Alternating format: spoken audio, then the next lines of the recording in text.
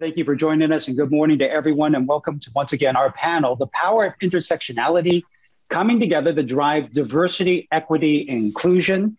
Good morning, everyone. My name is Ryan Yamamoto. I am the main anchor at KPIX5 CBS News Bay Area, our parent company, Paramount Global, where across the country we have seen Asian Americans and those of Asian descent in the news for many of the wrong reasons. A recent report here in San Francisco, the area that my station covers, we saw a 567% increase in reports of hate crimes. And across the nation, a report recently revealed that the Asian anti hate crimes increased by 339% last year compared to the year before. And the group Stop AAPI Hate reported 3,795 incidents of violence against Asians in America between 2020 2021. But we also must note that women reported hate incidents 2.3 times more than men. So this is where we begin to talk about intersectionality and how it plays its role. AAPI hate for men may be much different for it is for Asian women. It also may be much different for elderly Asians compared to the younger generation. But what exactly does intersectionality mean? If you if you Google it, uh, you come up with this definition, and I'll just read it to you. Intersectionality is the acknowledgement that everyone has their own unique experiences of discrimination and oppression, and we must consider everything and anything that can marginalize people, whether it's gender, race, class, sexual orientation, physical ability, and, and that list goes on. But to better explain what this means and how it applies to our present time on both a very broad and, and a very personal level, we have an extraordinary panel. I also want to mention that we, everyone watching and listening, to become part of the conversation. So if you have questions, please ask through the chat, and we'll try to get to as many of your questions as possible. But first, please welcome Abhina Aher, technical expert at I-TECH India and transgender activist. Also, Max Sevillia, Vice President of Government Relations, Advocacy, and Community Engagement with the Anti Defamation League. And Kenji Yoshino, Chief Justice Earl Warren Professor of Constitutional Law and the Director of the Center for Diversity, Inclusion, and Belonging with the uh, New York, um, excuse me, New York School of Law. And so, Kenji, let, let's begin with you. How do you define intersectionality? Well, first, let me say, Ryan, it's such a pleasure to be here with you with this distinguished panel. And I want to thank the Asia Society for uh, its hospitality and convening this forum. So, as a law professor, I have to say, like, I want to flex a little bit here because intersectionality comes into the popular lexicon through a law professor's work, the great Kimberlé Crenshaw at Columbia. So, Kimberlé Crenshaw started on this work when she was looking at the interests of Black women in litigation. So she looked at this fascinating case, Ryan, where a group of Black women brought a class action against an automobile manufacturer. In this case, gets before a judge, and claims of race discrimination and sex discrimination are brought. And as Crenshaw looks at this case, she realizes that the judge says, Is there race discrimination? And then he says, No, because I see that some Black men have made it to the executive ranks. Then he turns to the sex discrimination claim and says, Has there been sex discrimination? No, because some white women have made it to the executive ranks. And then he says, No race discrimination, no sex discrimination. End of case. This is over. And what Crenshaw points out, really, really insightfully, is to say there's a group of individuals who are left out in the cold namely the black woman who brought the case in the first place. And so her point is that if the law engages in a kind of axis by axis uh, kind of analysis, it's going to miss out on groups that belong to more than one subordinated identity, as many of us do. So many of us have plural identities, and you know we operate at the intersection of those. So, just to land the plane here with regard to the terrifying and horrifying uh, spike in uh, anti Asian hate crimes, the point that you raise is a really good one. It's an intersectional point. If you look at the Atlanta shootings, if you were to analyze that solely through a race lens and to say this is anti Asian hate, you would be missing something. And if you analyze it solely through a gender lens and said this is like anti gender or anti woman, you know, hate crimes, you would also be missing something. What we actually were dealing with in the Atlanta shooting case as at least as I understand it, is that you know the supermajority of individuals who are victims were Asian women, right? And they were targeted not as Asians, not as women alone, but as Asian women.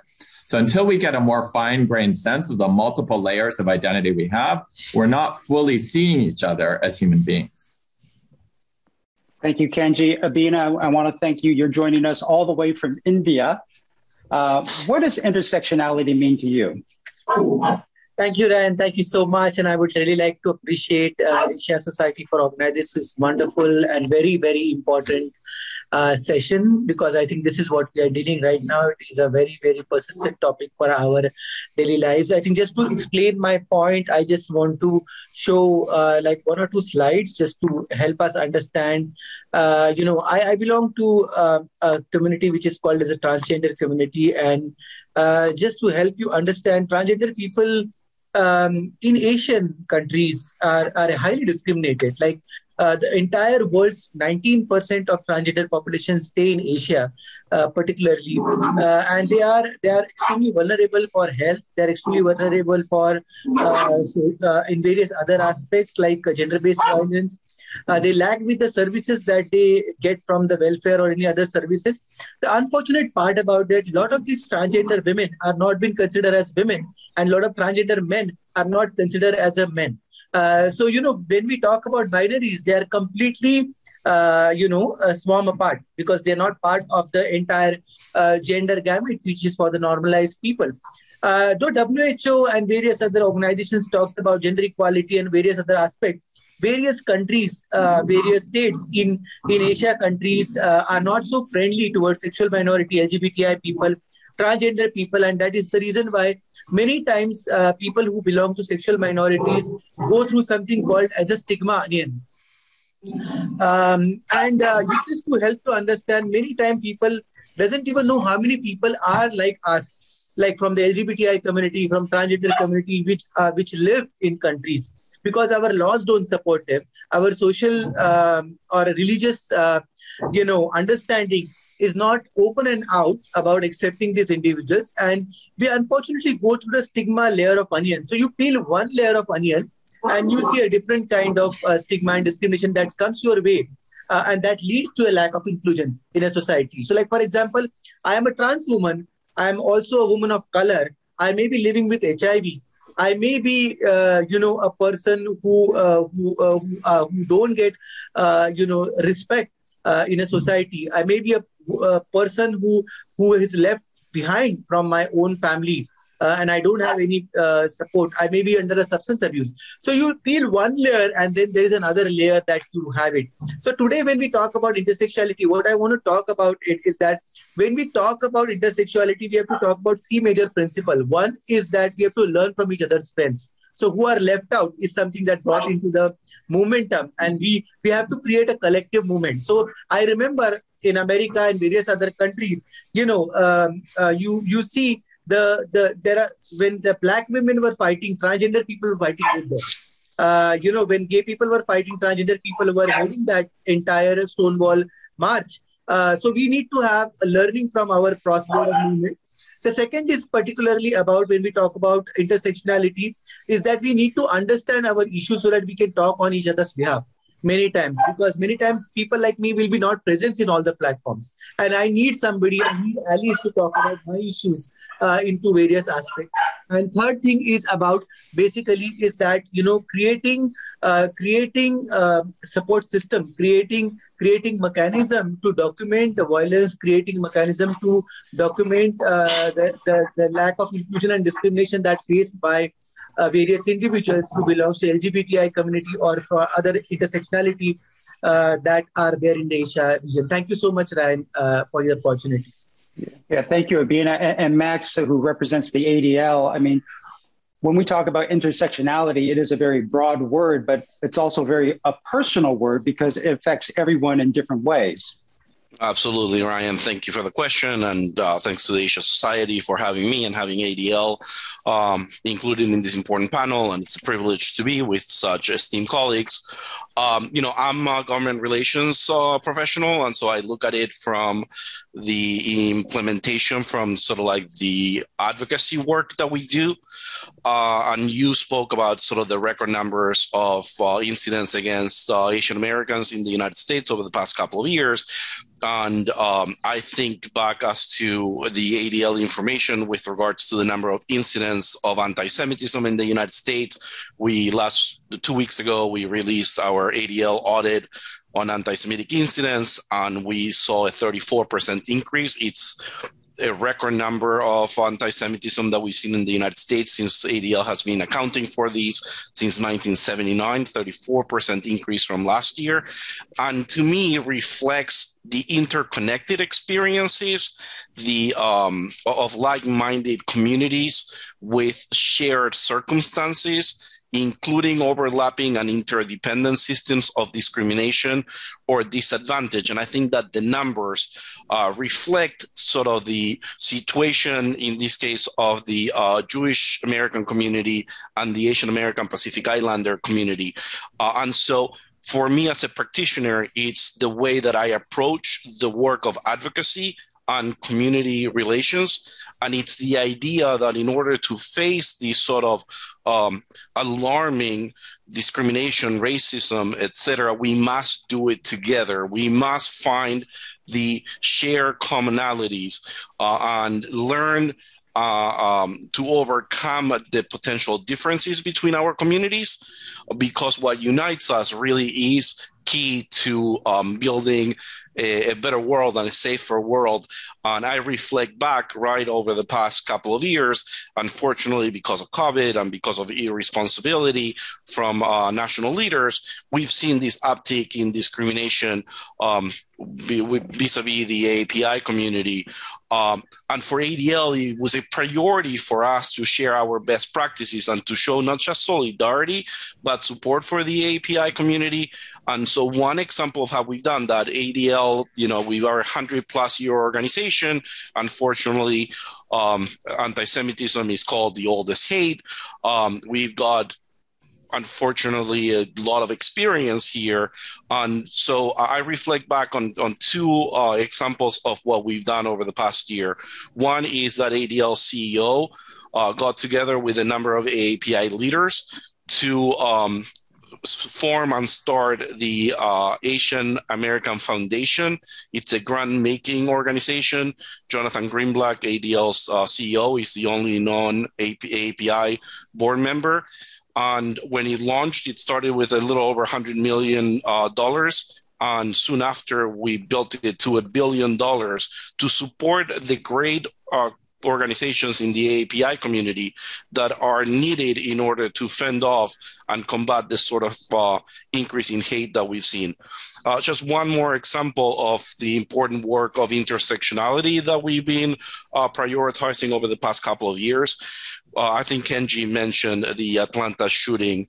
Um, probably one of the most emotionally taxing days in the two and a half years that I've been at ADL was when uh, that attack happened in Atlanta and being in a group of a very diverse group of national leaders uh, advising the CEO of a national API organization as to how to um, involve himself and support the community in Atlanta. And this individual and this community had not gone through these sort of mass killing experiences, fortunately. Um, but at ADL, we have had many of these situations. And so we had experience in how to help the victims and the families and help heal and support the community.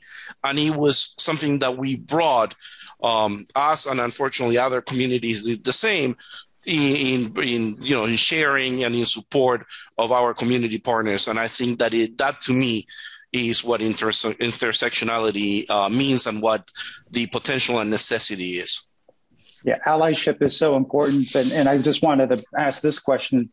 Why do we think the we're seeing a rise in attacks, whether it's Asian Americans, transgender, LGBTQ, anti-Semitic attacks? Why are we seeing this rise now? I would say, if I can jump in, yeah. that it's really a product of exactly what Max is talking about. And there's a potential kind of silver lining there uh, for solidarity, right? I, I, think that we're seeing attacks against all groups that are considered to be outside um, the dominant groups in American society because we've become so diverse as a nation and we've become so much more pluralistic. So, you know, the exact date varies, but, you know, sometime in the 2040s, whites will be a minority of American society. And I think what we're seeing is a lot of backlash against the demographic changes that are irreversible and inexorable in the society. And the kind of last gasp of majority groups who feel incredibly threatened is to strike out at groups that they deem to be the other in some way.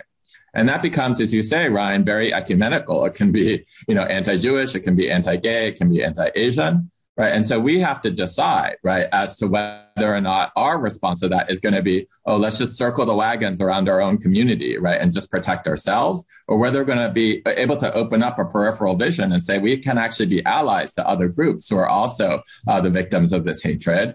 They're actually, if we create a coalition, there are more of us than there are the people who hate us, right, uh, and who are engaging these hate crimes. And so, therefore, uh, that's uh, the kind of case for solidarity. I think just to be really clear about how intersectionality um, feeds into this, you know, allyship is one thing. That's when one group is just an ally to a totally separate group.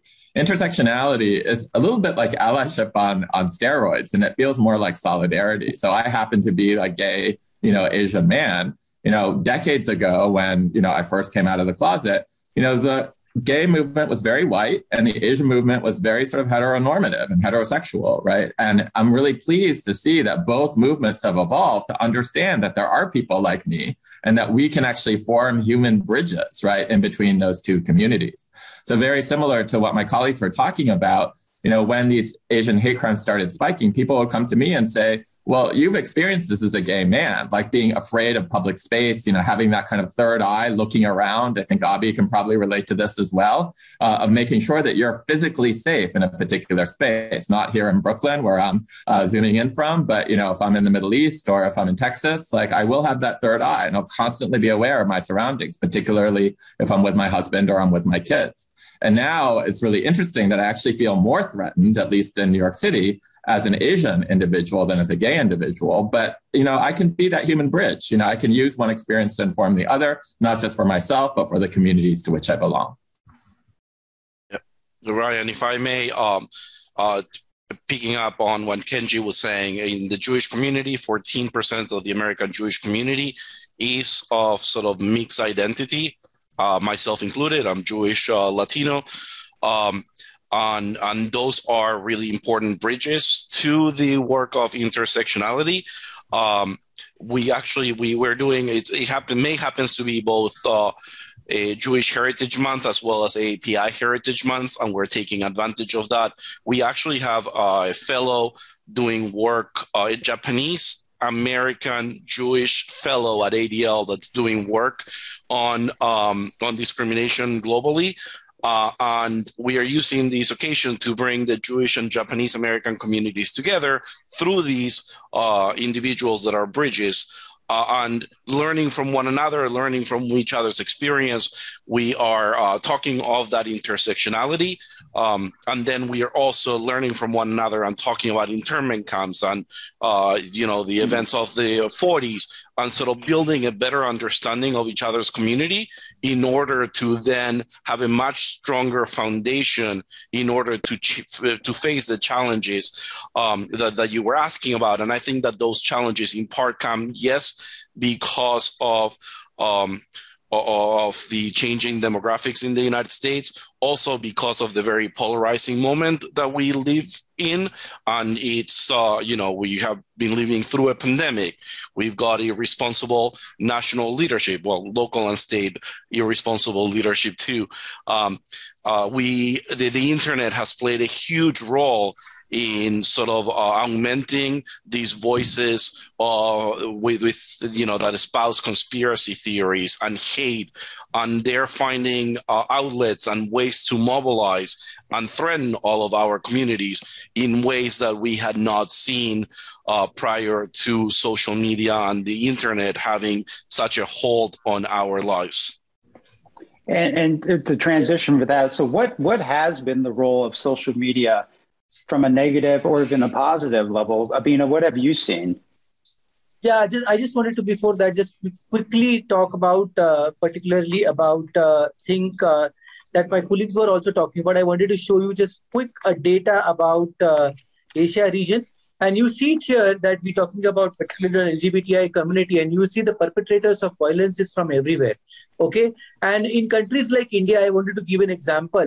Like we managed to repeal the section 377 and we have also uh, sort of you know kind of uh, got a transgender act uh, together. Transgender people are legal. But despite of that the violence against the transgender people have increased. It has not decreased. Mm. so we were like oh my god how is it happening? Uh, you know that it should be reduced right? I mean if it is if you are legal and if you are accepted in a country and if if no no if everybody understands that see listen the supreme court has given them this judgment. Why are they still being discriminated? What we have found out is that policies don't change the mindset of people. You create a people movement and the things would change.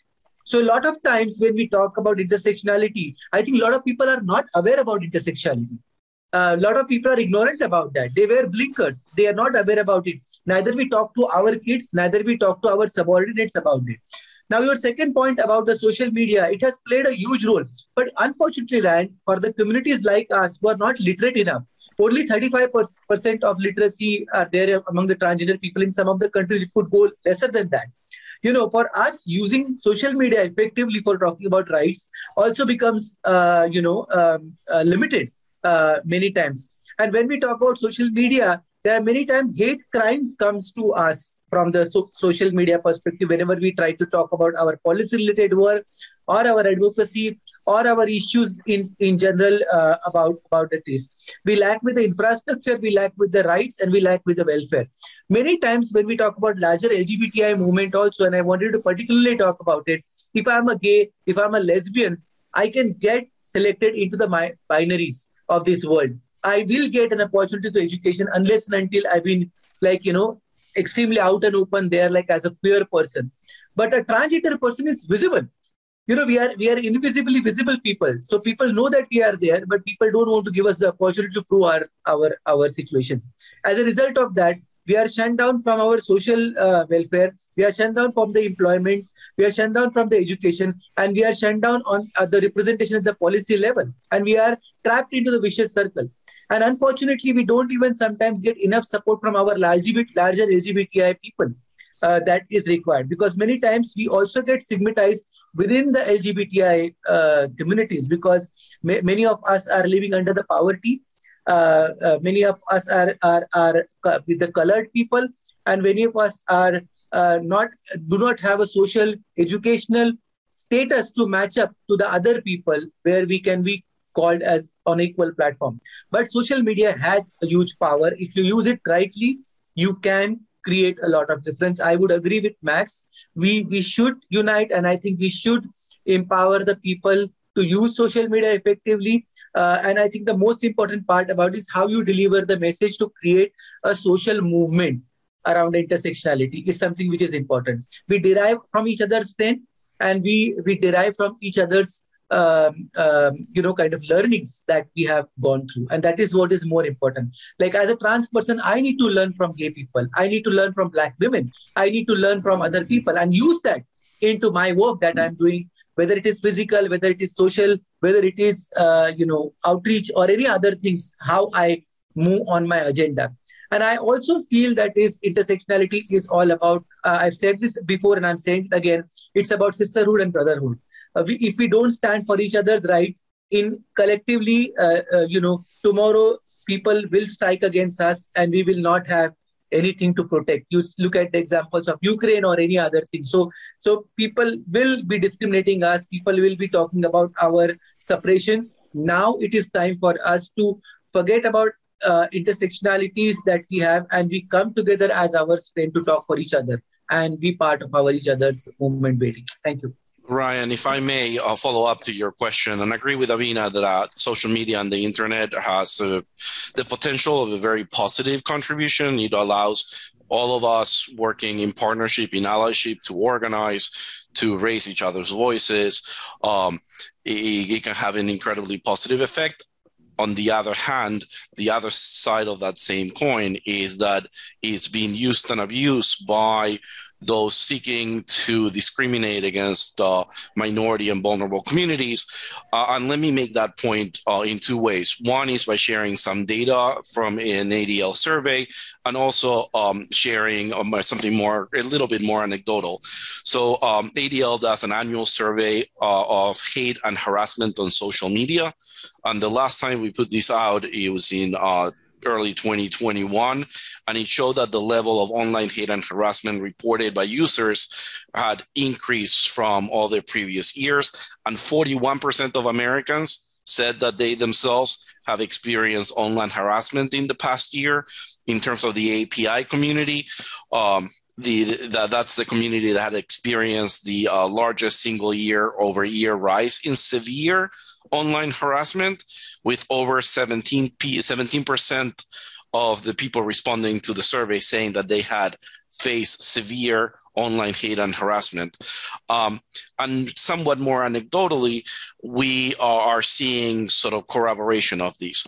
In 20 or late 2020, when President Trump was diagnosed with COVID, ADL used a new tool that we had our engineers develop to measure the uh, levels of hate online, specifically on Twitter. And we used that to understand the uptick, the increase of anti-AAPI, anti-Asian American um, sentiment on Twitter at the time of that, of that diagnosis. And over the first 12 hours of the president being diagnosed with COVID, we saw an 85% increase in anti AAPI language and conspiracy theories. Mm. You know, um, I, I, thought that that was very telling. It lasted for about five more days before it decreased to sort of like more normal normal uh, hate uh, and harassment against the API community uh, on, on Twitter, but it was a very clear and very significant spike uh, related to a lot of the conspiracy theories and the responsible language that was being used at the time and unfortunately in various spaces continues to be used. And, building on that, there's no question that social media has been a tool to to attack people of color and and and, and attack people in, in, in different ethnic groups and and but how can it be used to to uplift and and and unite people?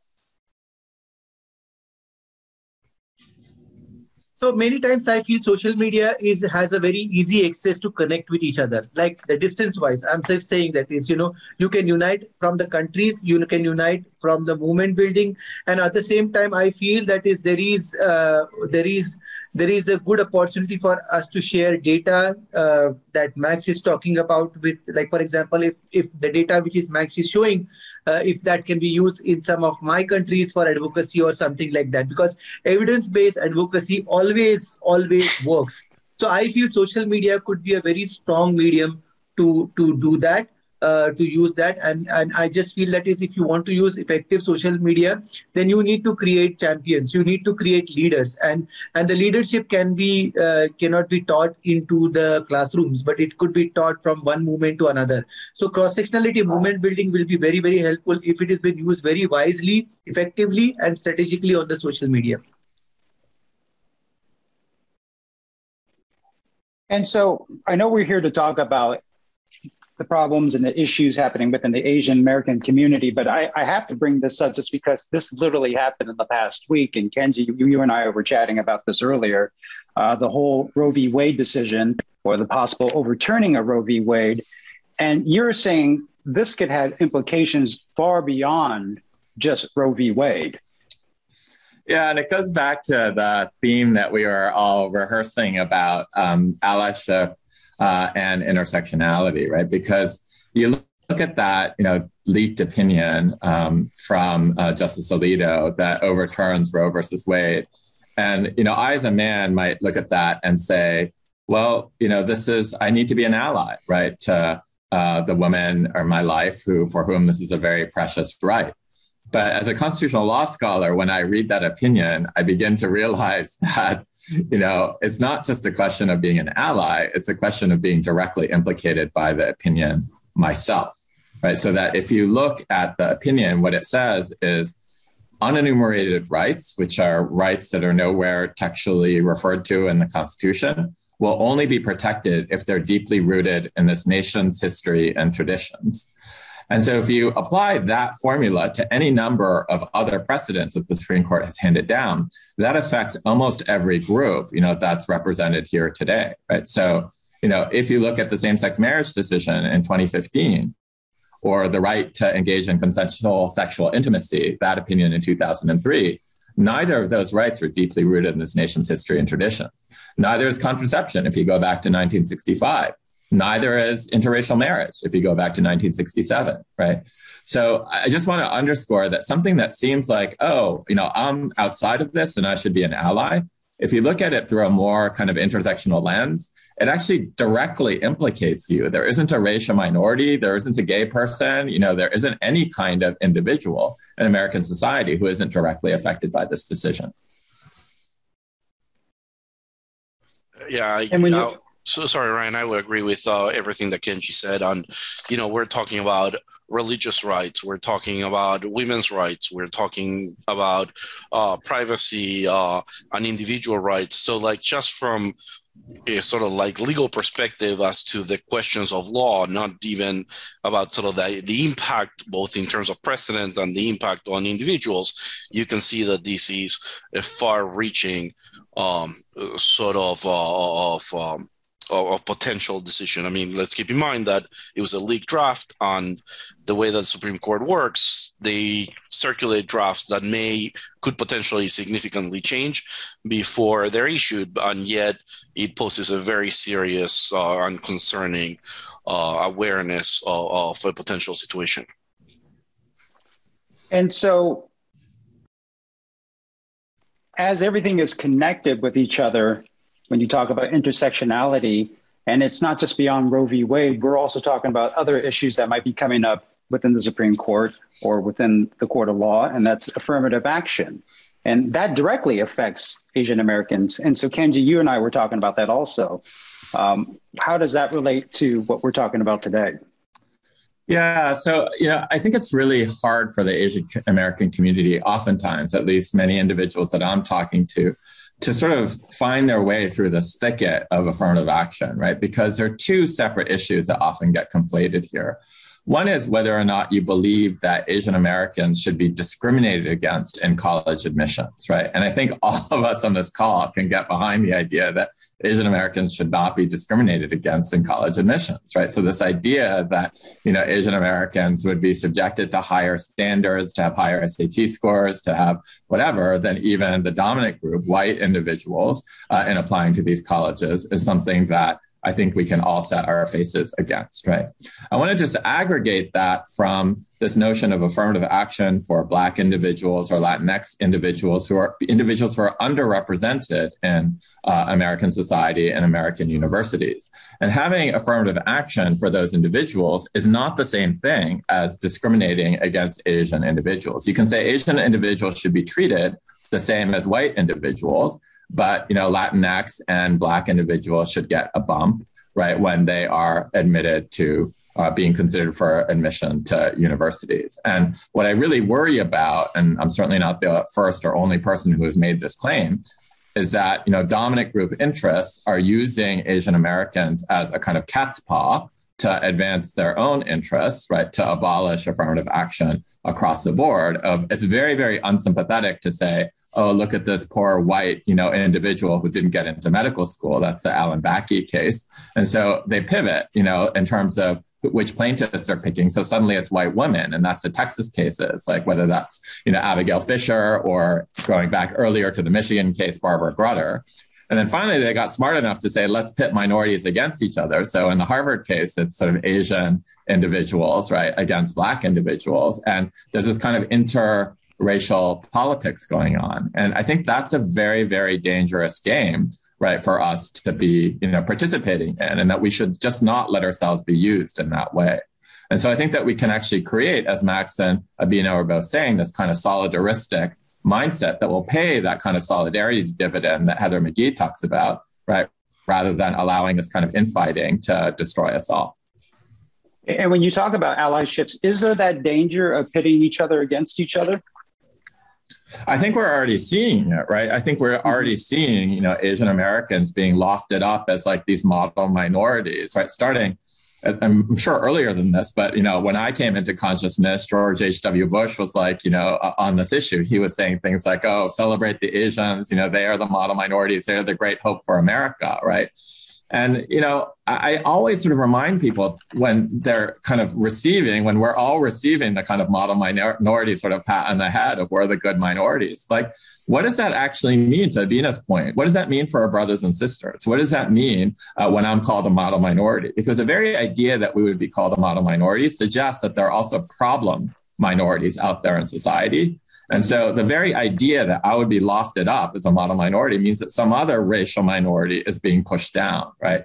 So I always reject that. Whenever I hear any kind of tincture of model minority rhetoric being directed at me, I always say, like, I actually don't accept the model minority term. I'm an individual, you know, I have flaws and and and and you know, I have good characteristics and bad characteristics. Even if you sort of expand out to Asian Americans with the group, when people say, oh, Asian Americans have the highest sort of educational or you know economic attainment in American society, well, yes and no, right? To take economics, we're touching the floor with one hand and the ceiling with the other, right? Where we have the highest variance of any racial group. Um, can't see my hands, so I should go like this, right? You can't see the variance, right, uh, that exists within uh, Asian society, where we have the biggest variance of highest SES and lowest SES of any ethnic group. So, you know, I'd really encourage us to, you know, even in those kind of micro cues, you might not even hear model minorities anything but a compliment but hear it as saying something about groups to which you do not belong and not just you know a compliment that's directed towards your group. Uh, ryan and it, oh, if, i may please. just to uh, compliment what kenji uh, just said uh, i think that that's his uh, he, his response mirrors very well with the uh, jewish american community. Um, the Jewish American community is seen as white uh, facing, uh, as privileged, um, and there is uh, a tendency to ignore the history and, and you know situation of the Jewish community in the United States. Not 50 years ago, uh, Jews, blacks, uh, and other sort of like minority communities face the exact same sort of discrimination. And while things may have improved in some aspects, they certainly have not improved in all of them.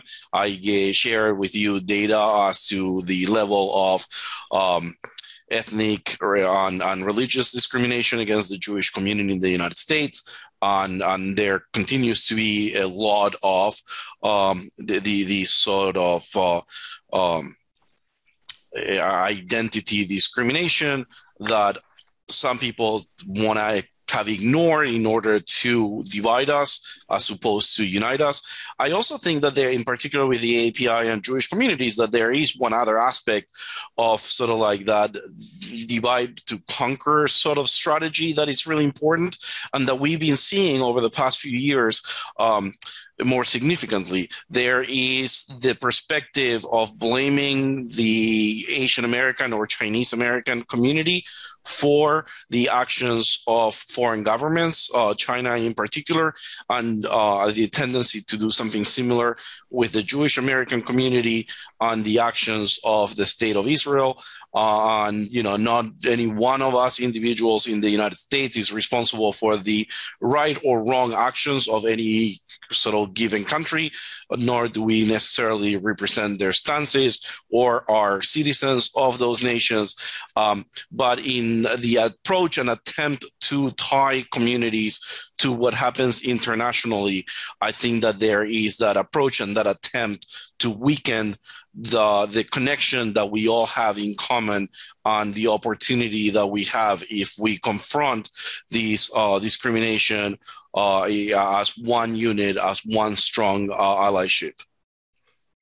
And, and is there a danger, especially we have to keep ourselves in check? And, and I was working on a, a pride story coming up for June, and I was talking with some members of the LGBTQ community, and they said, uh, there's there's sometimes there's a danger once one group receives some rights we tend to forget about the other groups and some of the other marginalized groups and they they made a prime example. So once gays started getting some rights here in San Francisco, maybe people from the transgender community started feeling left out. And and Abhina, I, I don't know if that's a, an appropriate question for you. Or, or do you see that within within your own group? But it happens in both the ways. You know, like for example, mm-hmm. in countries like India, uh, before the gays, um, uh, uh, I mean, before the Section 377, which criminalizes homosexuality, was still there in India, and transgender people in 2014 got uh, acknowledgement as a third gender from the Supreme Court. And immediately, the transgender people, so many highest, uh, the leaders of the transgender community started saying that, hey, listen, we are not with you.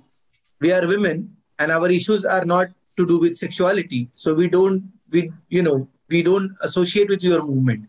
What happened is that afterwards there was a huge amount of crackdown on the LGBTI movement, which was united till that point of time, and uh, uh, then actually suddenly uh, it just happened so that because we were we we were just given the right to be acknowledged as a third gender, but we did not we were not given uh, civil rights, and uh, to you know they realized it all the transgender people and they said hey listen like we cannot leave our brothers and sisters who are from the lgbti community and we have to create a movement building. They came together very organically. They sat together and he said listen that we, we need to keep this entire lgbt queer movement stronger to to to to have to achieve the larger goal larger goal that we collectively can achieve and i think whenever there is a lack of vision uh, within the movement on cross sectionality people benefit from strong uh, small gains but they lose the larger battles uh, that they have to fight. And I think that is something that we all have to watch out for. Uh, I just feel that is, you know, together we stand uh, is something that we have to keep in mind. And I think we have to derive from the strengths from our intersectionality and not penetrate uh, on the gaps uh, that we see within our sense. And I think uh, it is not important that individuals get successful in this entire i'm talking about lgbti community but it is the entire sexual minority community because a lot of our issues and a lot of our problems have the intersectionality connections uh, so we to, we have to stand together i just feel that that that larger vision building is very important and even data talks about it i'm sure whenever you look into data a lot of data about uh, sexuality gender will collide, collate to each other they will have the uh, sim- similar kind of drivers towards that. So, I mean, we need to understand that we stand together. I just feel that is very, very important. And I, am going to have to cut us off because I think we're going over our time right now. I knew this was going to happen because it's such a broad topic and it's so hard to, to talk about intersectionality within a, a 40 minute time frame. So, uh, Abhina, Max, and Kenji, uh, I do want to thank you for your time and your expertise. Uh, it's open discussions like these where we, we begin to actually at least try to solve and learn about equity, inclusion, and diversity. Uh, maybe we can begin to learn from one another, maybe expand or even reframe our thinking, or just better understand and appreciate each other. And, and there's still so many more panels and uh, deep discussions happening today. So please enjoy the rest of Asia Society's uh, 2022 Global Talent, Diversity, and Inclusion Virtual Symposium. Uh, so thank you very much for joining us. Thank you.